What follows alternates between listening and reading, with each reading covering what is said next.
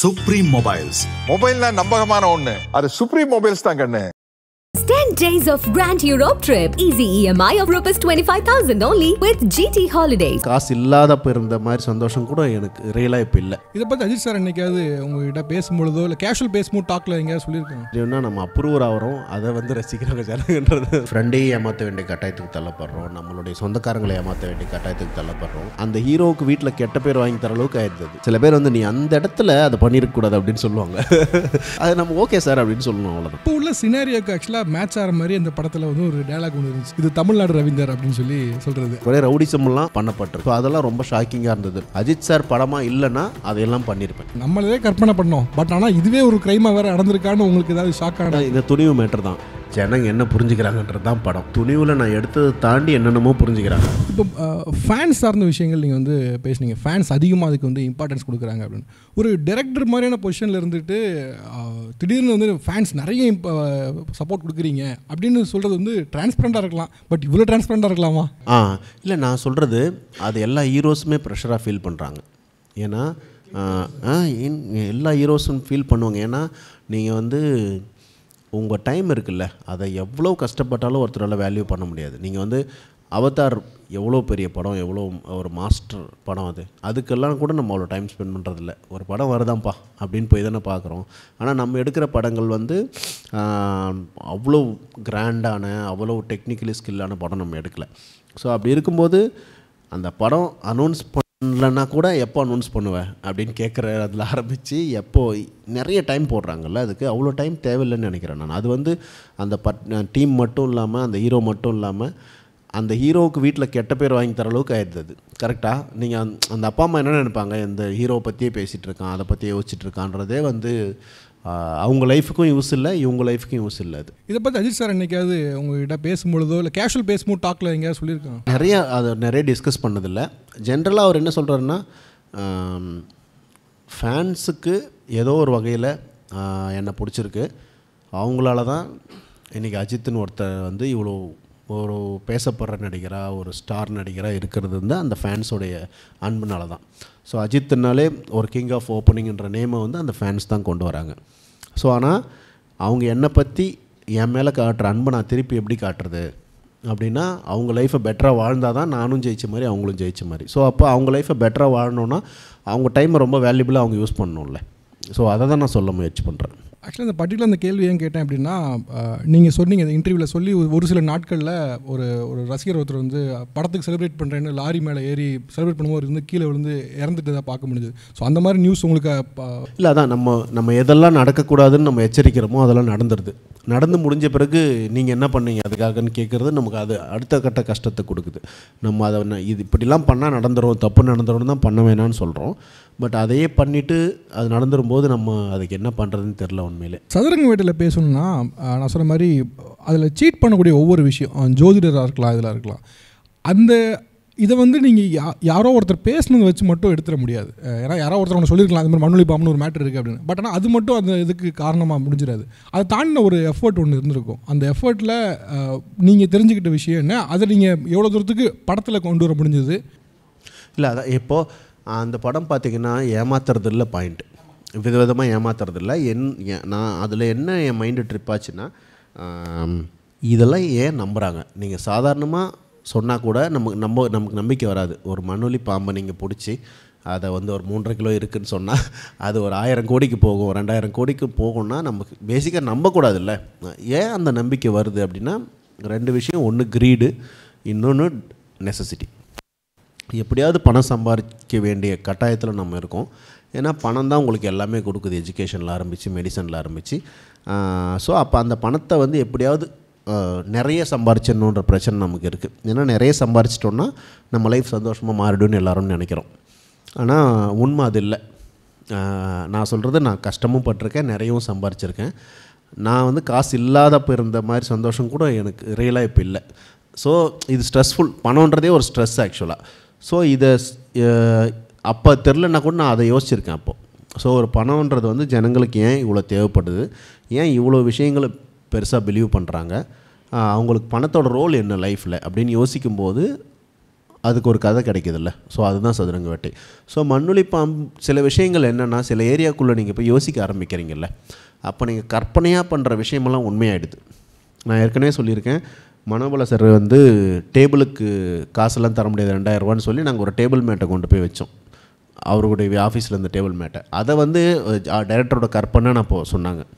அதே மாதிரி இப்போது துணிவில் வந்து பேங்க்கே பேங்க் தன்னுடைய பேங்க்குள்ளேயே வந்து லட்சக்கணக்கான அக்கௌண்ட் ஃபேக் அக்கௌண்ட்டை க்ரியேட் பண்ணி அதுக்குள்ளே பணத்தை அக்கௌண்ட் போலாக்க ட்ரை பண்ணுறாரு சேர்மன்றது கிளைமேக்ஸு ஆனால் ரியலாக அப்படி நடந்திருக்கு. ஸோ ஒரு பேங்க் பண்ணியிருக்கு.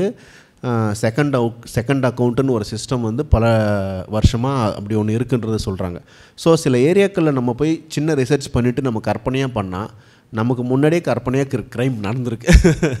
ஸோ அப்படி தான் பார்க்குறேன் நான். நான் வந்து ஹண்ட்ரட் பர்சன்ட் ரிசர்ச்சில் பண்ணாமல் கொஞ்சம் பண்ணிவிட்டு நம்ம கற்பனையாக சில விஷயங்கள் செய்யும்போது அது உண்மையை விட நம்ம பண்ணதை விட இன்னும் மோசமான உண்மைகள் நிறைய இருக்குது நீங்கள் சொன்ன மாதிரி நம்ம ஒரு பெர்ஸ்பெக்டில் எடுக்கிறோம். ஆனால் ரிசீவ் பண்ணுற பெர்ஸ்பெக்ட் வேறு. இப்போ நீங்கள் சொல்ல வந்த பெர்ஸ்பெக்ட் படம் நிறைய பார்க்க இருக்கிறதுனால ஸ்பாய்லர்ஸ் இல்லாமல் சொல்லலாம். நீங்கள் சொல்ல வந்த பெர்ஸ்பெக்ட் அப்படிங்கிறது வந்து ஃபைனான்ஸில் கேர்ஃபுல்லாக இருக்கணும் அப்படிங்கிறது மட்டும்தான்.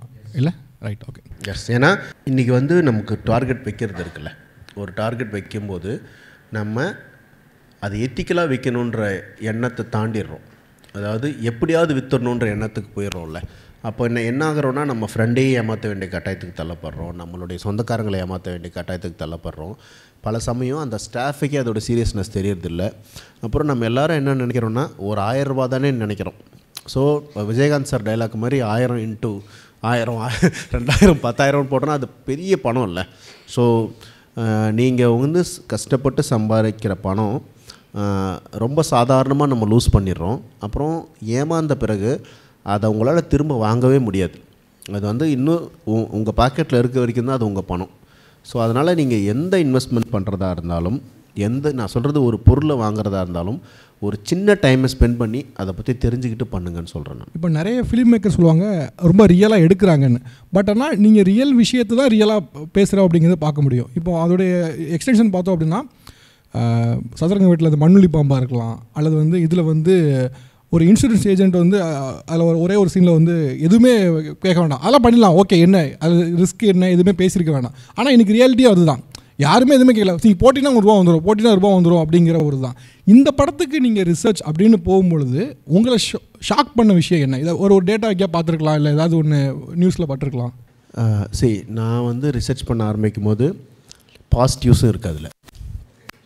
நான் சொல்கிறது ஒரு நம்ம கற்பனையான ஒரு பேங்க்கை பற்றி பேசினா கூட ரியல் பேங்க் பற்றி தான் ரிசர்ச் இருக்கும். ஸோ அதில் பாசிட்டிவ்ஸும் இருக்குது நான் சொல்கிறது ஒரு ஆக்சிடெண்ட் ஆகிடுது அப்படின்னா அவங்களுக்கு இன்சூரன்ஸ் கிடைக்கிறதுன்றது வந்து ஒரு பெரிய ஹெல்ப்ஃபுல்லான விஷயம். ஒரு தேர்ட் பார்ட்டி இன்சூரன்ஸ் அந்த மாதிரி நிறைய விஷயங்களை கோர்ட் இன்னைக்கு பண்ணி வச்சுருக்கு. அந்த மாதிரி சில ப்ளஸஸும் இருக்குது அதில். ஆனால் ஓவரால் மைனஸ் இருக்குல்ல. அந்த ஓவரால் மைனஸில் வந்து ரொம்ப ஷாக்கிங்கான விஷயங்கள் என்னென்னா அது ஹிடன் ரூல்ஸ் இருக்குல்ல. எனக்கு வந்து அந்த பேங்க் அக்கௌண்ட் நான் இது வரைக்கும் ஒரு பத்து அக்கௌண்ட்டு வச்சுருக்கேன். அஸ்டன்டேட்டராக இருந்த ஆரம்பித்து இது வரைக்கும் வேறு வேறு வேறு பேங்க்கில் எந்த பேங்க்லையும் நம்ம இன்ஃபர்மேஷனை அவங்க யாருக்கு வேணால் ஷேர் பண்ணலான்னு ஒரு ஒரு வரி இருக்குன்னே எனக்கு தெரியாது.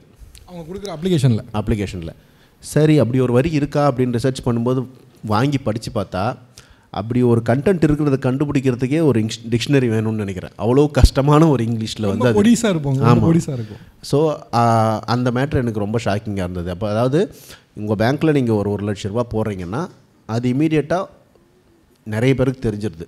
நமக்கு நினைப்போம்ல நம்மகிட்ட காசு இருக்கிறது இவங்களுக்கு எப்படி தெரியும்? எப்படி கரெக்டாக ஃபோன் வருதுன்ட்டு அதுதான். ஸோ இந்த இன்ஃப் நம்ம இன்ஃபர்மேஷன் ஷேர் பண்ணுறது ஒரு பெரிய டேஞ்சராக நான் பார்க்குறேன். அதுக்கப்புறமா வந்து இந்த கிரெடிட் கார்டு ஸோ கிரெடிட் கார்டில் ஒரு நூறுரூபா நீங்கள் கடன் வாங்கினா மிஸ் பண்ணிங்கன்னா நாற்பது ரூபா வட்டி. ரெண்டே மாதம் மிஸ் பண்ணிங்கன்னா டபுள் ஆகிடும் ஸோ நீங்கள் ஒரு ஆறு மாதம் கட்டாமல் விட்டிங்கன்னா முடிஞ்சுச்சு. ஸோ அந்த மாதிரி வந்து கிரெடிட் கார்டுக்காக அப்பார்ட்மெண்ட் விற்று கட் கிரில் பண்ணவங்களாம் இருக்காங்க. அதுக்கப்புறம் கிரெடிட் கார்டு பணம் கட்டாமல் எமோஷ்னல் கான்சிக்வன்சஸால் தற்கொலை பண்ணிக்கிட்டவங்க நிறைய பேர் இருந்திருக்காங்க. ஸோ அந்த பணத்தை வாங்குறதுக்கு லோக்கல் ரவுடிஸை வச்சு மிக மோசமான பிஹேவியர்லாம் பண்ணியிருக்காங்க. ஸோ ஒரு பத்து வருஷத்துக்கு முன்னாடி கோர்ட்டு பல விதங்களில் தலையிட்டு கன்சியூமர்ஸை காப்பாற்றிருக்கு ஸோ அது வரைக்கும் ரொம்ப மோசமாக நடத்தப்பட்டிருக்காங்க அதோட கஸ்டமர்ஸ் பணம் திரும்ப வாங்குறதுக்காக.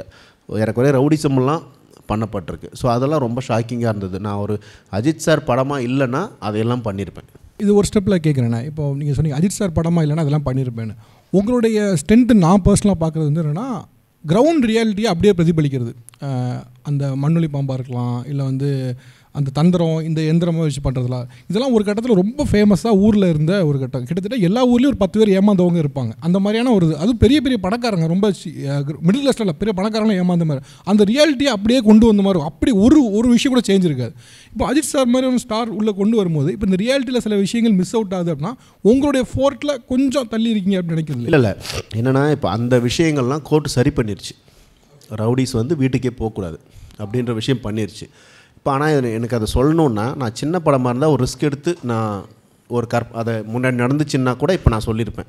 ஆனால் அஜித் சார் விஷயத்தில் ரொம்ப ஃபேக்சுவலாக கரெக்டாக இருக்கணும். ஏன்னா அதுக்கு அவருடைய நேம் வந்து கிரெடிபிலிட்டி பிரச்சனை இல்லை.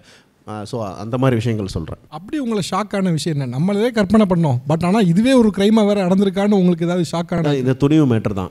நான் சொல்கிறது பேங்க்லேருந்து பணத்தை ஃபேக் கம்பெனிஸ்க்கு லோன் கொடுத்து அந் அவருடைய பணத்தை எடுத்து அவருடைய பேங்க்கில் இன்வெஸ்ட் பண்ணி அந்த இன்வெஸ்ட்மெண்ட்டை ஜனங்களுக்கு கடன் கொடுத்து அவங்ககிட்டருந்து வட்டி வாங்குறது இருக்குல்ல? அது எவ்வளோ பெரிய க்ரைம் இதில் இன்னொரு ஒரு ஸ்டெப் மேலே போய் நீங்கள் சொல்கிற ஒவ்வொரு விஷயத்தில் எடுத்துக்கிட்டோம் அப்படின்னா நீங்கள் டைரக்டருக்கு முன்னால் நீங்கள் பண்ண ஜாப்ஸில் இருந்த ஒரு நாலேஜ் தான் உங்களுக்கு இங்கே பெரிய லெவலில் ஹெல்ப் பண்ணுது அப்படிங்கிற அதுதான் கன்ஃபார்ம் நான் வந்து கவர்மெண்ட் செக்டார்ஸ் அதோடைய சப்கான்ட்ராக்ட் ஏரியாக்களில் ஒர்க் பண்ணேன். ஸோ அப்படி சப்கான்ட்ராக்ட் ஏரியாக்களில் ஒர்க் பண்ணும்போது அது வந்து அதோட பில்லிங் ஸோ அந்த பில்லிங் எப்படி ஆப்ரேட் ஆகுது? ஸோ பர்மிஷன்ஸ் எப்படி ஆப்ரேட் ஆகுது? கவர்மெண்ட் செக்டருடைய பொலிட்டிக்ஸ் எப்படி அதுக்குள்ளே இன்வால்வ் ஆகுது? இந்த மாதிரி விஷயங்கள்லாம் எனக்கு அது ஒரு பேசிக் நாலேஜ் கொடுத்து டைரக்டருக்கு முன்னாடி டென் ஜாப்ஸ் பார்த்துருப்பீங்களா? என்ன ஞாபகம் இருக்குது என்னெல்லாம் இருக்குது? நான் ஃபஸ்ட்டு எலக்ட்ரிக்கல் டிப்ளமோ எலக்ட்ரிக்கல் பண்ணேன். ஸோ அதுலேருந்து ஒரு ஃபியூஸ் ஃபியூஸ் கம்பெனி இந்த நீங்கள் வீட்டுக்கு ஃபியூஸ்லாம் போடுறீங்கல்ல. ஸோ அந்த ஃபியூஸ் கியர் அது வந்து டிரான்ஸ்ஃபார்மருக்கு போடுற ஃபியூசஸ் அந்த கம்பெனியில் ஒர்க் பண்ணேன். ஒரு பிஎல்சின்னு சொல்லுவாங்க எலக்ட்ரிக்கல்ஸில் அதோட மார்க்கெட்டிங் ஜாபில் ஒர்க் பண்ணேன். Panel board company wiring wireman சூப்பர்வைசராக work பண்ணேன். ஜென்ரேட்டர் சர்வீஸில் ஒர்க் பண்ணேன். ஸோ அது டோட்டலி கான்ட்ராஸ்ட் ஆகணும் ஜென்ரேட்டர் சர்வீஸில் ஒர்க் பண்ணேன். அப்புறம் கோயம்பேடு மார்க்கெட்டில் இது எல் எலக்ட்ரிஷியனாக ஒர்க் பண்ணேன். அப்புறம் டீ கடை அது இது நிறைய இருந்து போயிட்டே இருக்கும் அது. கடவுள் பற்றி சொல்கிறதெல்லாம் வந்து உங்களை செயின்ட்டாகவே ஆக்கிட்டாங்க.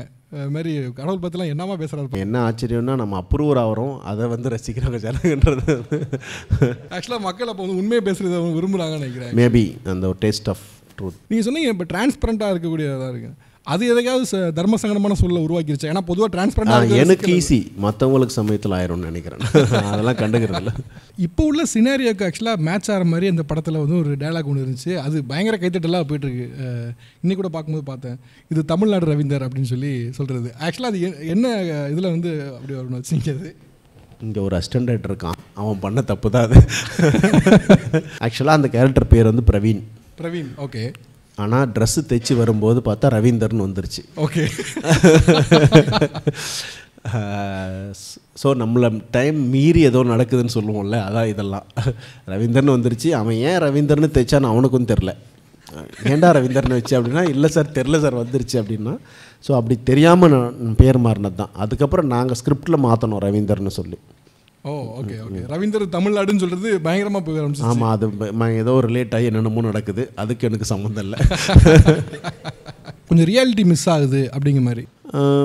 நம்ம அந்த ஐடியாலே எடுக்கல. ரியாலிட்டியாக எடுக்கணும்னே எடுக்கல. ரியாலிட்டியாக ஒரு பேங்க்கை ஒருத்தன் கண்ணோட கொள்ளையடிக்க போனால் போலீஸ் உள்ளே வந்து சுட்டுரும் அவ்வளோதான் ஸோ அந்த ரியாலிட்டிக்குள்ளே நம்ம போகல ஓகே இல்லை ஏன்னா இப்போ கமர்ஷியல் ஃபிலிம்ஸில் அது ஒரு ஆஸ்பெக்ட் ஒன்று இருக்குது கமர்ஷியல்னு சொல்லிட்டாலே நீங்கள் அதை கொஞ்சம் ரியாலிட்டி டிட்டாச் ஆகிடுங்க அப்படின்னு.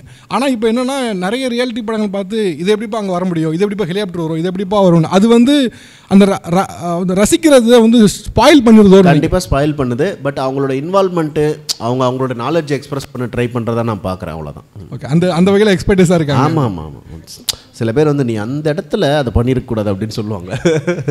அது நம்ம ஓகே சார் அப்படின்னு சொல்லணும் அவ்வளோதான் ஆக்சுவலாக இந்த ஃபினான்ஸ் வந்து ஜேர்னலிஸ்ட்டுக்குமே நிறைய பேருக்கு வந்து ஒரு கசப்பான மருந்தாக தான் ஏன்னா அது வந்து அண்டர்ஸ்டாண்ட் பண்ணுறது அவ்வளோ ஈஸியான விஷயம் கிடையாது. நீங்கள் வந்து ஷெல் கம்பெனிஸ் அதுக்கப்புறம் அங்கேருந்து இங்கே வந்துச்சு எஃப்டிஐ இன்வெஸ்ட்மெண்ட் இதெல்லாம் வந்து கொஞ்சம் கொஞ்சம் கசப்பான மருந்து மாதிரி தான் உண்டு. அதை ட்ரீட் பண்ணுறதுங்கிறது வந்து பணம்னு சொல்லிடலாம் மற்ற ஏமாத்திர சொல்லிடலாம். பட் இந்த விஷயத்த சொல்கிறது அவ்வளோ ஈஸி கிடையாது. ரொம்ப சிம்பிளிஃபைடாக ஏ ப்ளஸ் பி அப்படின்னு சொல்லி எழுத முடியாது. இந்த சிம்பிளிஃபை பண்ணதுக்கு எப்படி ஒர்க் பண்ணீங்க அதுக்கு? இல்லை இது இந்த ஏரியா இருக்குல்ல இந்த இந்த ஃபைனான்ஸ் ஏரியா வந்து எனக்கும் தயக்கம் இருந்தது. ஸோ வந்து இது எவ்வளோ தூரம் சொல்லலாம் இதை வேகமாக கடந்துடலாமான்னும் போது ஸ்ரீனிவாசன் ஒருத்தர் வந்து இந்த டிஸ்கஷனுக்கு வந்தார். அப்போ அவர் என்ன சொன்னார்னா நீ சொல்லணும்னு முடிவு பண்ணிட்டல்ல அப்போ ஸ்ட்ராங்காக சொல்லிவிடு எவ்வளோ முடியுமோ சொல்லிவிடு என்டர்டெய்னிங்காக என்டர்டெய்னிங்காக உனக்கு சொல்லணும் அவ்வளோதானேன்னு சொல்லிட்டு அவர் அந்த ஏரியாவில் சில டைலாக்ஸ் எழுதினார். ஸோ அந்த மேனேஜரை விசாரிக்கிற அடிக்கிற ஒரு ஏரியா இருக்கு இல்லையா அந்த மாதிரி டைலாக்ஸ் எல்லாம் வந்து அவர் கான்ட்ரிபியூட் பண்ணது. இந்த ஃபான் சைஸில் இல்லை? ஃபான் சைஸ்லாம் நாங்கள் பண்ணிட்டோம். அந்த ஒரு மேனேஜர் மேட்ரு மேனேஜர் அடிப்பார். என் தம்பி மாதிரி சார் அவன் தப்புனா நான் என்ன பண்ணணும்னு கேட்பார்ல அதெல்லாம் அவர் எழுதுனது. துணிவில் ஒரு இன்ட்ரெஸ்டிங்கான விஷயம் என்னன்னா அஜித் அவர்கள் வந்து மைக்கேல் ஜாக்சன் அப்படிங்கிற இருக்கும். சதுரங்க வீட்டில் அஜித் விஜய்னு ஒரு இது வரும். அது ஆக்சுவலாக நான் பார்க்கணும்னு நினச்சேன்னா ஓகே இன்டென்ஷனலாக ஒரு இப்படி ஒரு ஒரு ஃபெமிலியரான நேம் வைக்கும் போது ஒரு ஒரு சின்ன ஒரு ஸ்மைல் வரும். அதுக்காக கிரியேட் பண்ணப்படுது. அதுதான் மேட்ரு அதுக்கு. இல்லை இன்டென்ஷன் ஒன்றும் இல்லை. ஸோ பேர் வைக்கலாம் அப்படின்னு முடிவு பண்ணும்போது வந்து என்ன பேர் வைக்கிறது? ஏதோ ஒரு அன்னோன் நேம் வைக்கிறத விட ஒரு ஸ்மால் அட்டென்ஷன் சீக்கிங் தான் அது. ஒரு ஸ்மா பெரிய சின்ன படத்தில் ஒரு பெரிய நேம்ஸ் வரும்போது ஒரு பெரிய அட்டென்ஷன் கிடைக்கும் அப்படின்றது தான். உங்களுடைய படங்கள்ல நீங்கள் நீங்களே உங்களை கிரிட்டிக்காக வச்சுக்கிற விஷயம் என்ன அப்படின்னா எனக்கு வந்து லவ் சீன்ஸ் எடுக்க வராது அப்படின்னு. அஹ், தீர நதியாரம் ஒன்றில் பார்த்தீங்கன்னா அதில் ஒரு டயலாக் இருக்கும். கார்த்தி சார் அவன் பேசிகிட்டு இருக்கும்போது ஹீரோயின் சொல்லுவாங்க எல்லாமே ஓ இஷ்டம் ஓ இஷ்டம்னா நீ நீ எதுக்கு அப்படின்னா நீ நான் நினைக்கிறதெல்லாம் செய்கிறதுக்கு தான் அப்படின்னு.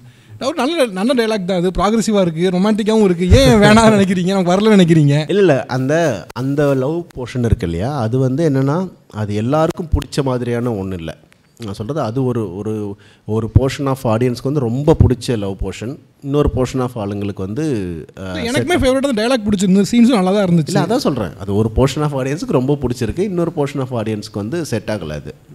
ஸோ நான் அதனால் அதை பெருசாக கான்சென்ட்ரேட் பண்ணுறதில்ல அந்த ஏரியாவை ஓகே சதுரங்க வீட்டில் நடித்த சில பேர்கிட்ட ஒரு பேசுறதுக்கான வாய்ப்பு கிடைச்சப்போ சொன்னது என்னன்னா அவர் ஷூட் பண்ணுறது தெரியாது. திடீர்னு பார்த்தா இப்படி இருக்கியா? வா வா சரி உட்காருங்க அப்படின்றவாரு. திடீர்னு ஒரு அப்பார்ட்மெண்ட் இந்த அப்பார்ட்மெண்ட்டில் ஷூட் பண்ணலாம் வாங்க, உட்காருங்கன்றவாரு. அது ஆக்சுவலாக விஜய் மில்டன் சார்ட்டு வந்து எடுத்துக்கிட்டதா? ஏன்னா அவரது கன்ஃபார்மாக விஜய் மில்டன் சார் வந்து என்னென்னா அவர் க்ரௌட் வந்து இருபத்தஞ்சி பேர் தேவைப்படும். ஆனால் இந்த ஸ்க்ரீன் பேப்பரில் இருக்க தலைவர் ஒன்றுமே சொல்லையே என்ன நடக்குதுன்ற மாதிரி இருக்கும்போது அவர் டக்குன்னு அண்ணே இங்கே வாங்க. இப்படி உட்காருங்க. உட்காருங்க அப்படின்னு சொல்லிட்டு டக்குன்னு ஷூட் பண்ணுவார். ஸோ சில சமயம் வந்து நமக்கு அவருடைய அவர்கிட்ட ஒர்க் பண்ண அந்த ஏரியா வந்து ரொம்ப பயங்கர ஹெல்ப்ஃபுல்லாக இருந்தது. பத்து பேர் இங்கே நிற்பாங்க அப்புறம் அடுத்த ஷாட்டில் பார்த்தா அடுத்த பத்து பேர் அங்கே இருப்பாங்க அப்படின்னு. அதுக்கு ஒரு ஒரு நியூன்சஸான பிளானிங் ஒன்று வேணும்ல ஆமாம் உங்களுக்கு அதான் உங்களுக்கு பிரச்சனை வரும்போது தான் சொல்யூஷன்ஸ் பற்றி யோசிப்போம். உங்களுக்கு நீங்கள் உங்களுக்கு எல்லாமே இருக்குன்னும் போது நீங்கள் செய்கிறத விட உங்களுக்கு எதுவுமே இல்லை ஆனால் ஒன்று பண்ணணுன்னும் போது உங்கள் மைண்டை எக்ஸ்ட்ராவாக யோசிக்கும்ல. எல்லா புது கிராஃப்ட்டு கண்டுபிடிப்பு எல்லாமே வந்து ஒரு டிமாண்ட் வரும்போது தான் வருது. சுப்ரீம் மொபைல்ஸ் மொபைல்னா நம்பகமான ஒண்ணு அது சுப்ரீம் மொபைல்ஸ் தான் கண்ணு 10 days of Grand Europe trip. Easy EMI of Rs 25,000 only with GT Holidays.